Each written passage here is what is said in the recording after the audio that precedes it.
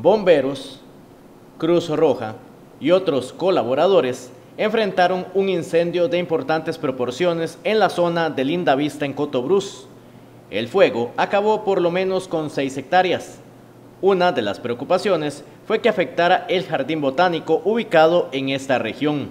Al llegar aquí al lugar del despacho nos encontramos con una quema de charral extensa, amenazando lo que es la parte del bosque de eh, Estación Biológica Las Cruces. Eh, gracias a Dios pues el, el, jardín botánico tiene una brigada de aproximadamente 20, 25 personas, entonces nos ayudaron a, la extinción del fuego y también contamos con la ayuda de la, del personal de la Cruz Roja para ver si teníamos algún este, brigadista afectado por humo.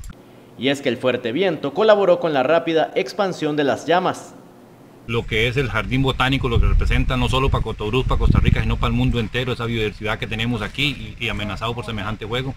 Pero bueno, una vez más, como se puede ver, ¿verdad? Cruz Roja, bomberos, voluntarios, personas del OET, amigos, los mismos supermercados nos regalaron agua potable para traerle a los, a los muchachos y bueno, pues entre todos ha sido un trabajo maravilloso. Gracias a Dios ya está totalmente terminado y, y antes de anochecer.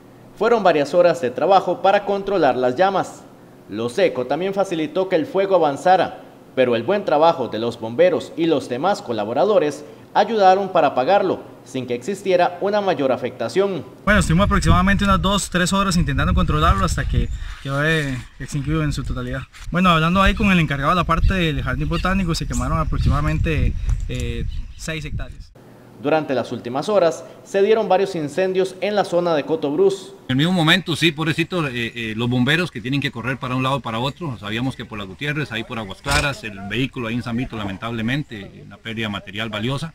Y pues también este incendio que fue grande, como vemos ahí, hectáreas se quemaron, bien quemadas, ¿verdad? Totalmente.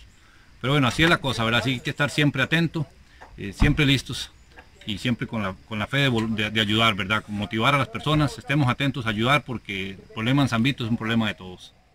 Los incendios forestales son de las principales emergencias que atienden los bomberos a lo largo de toda la zona sur.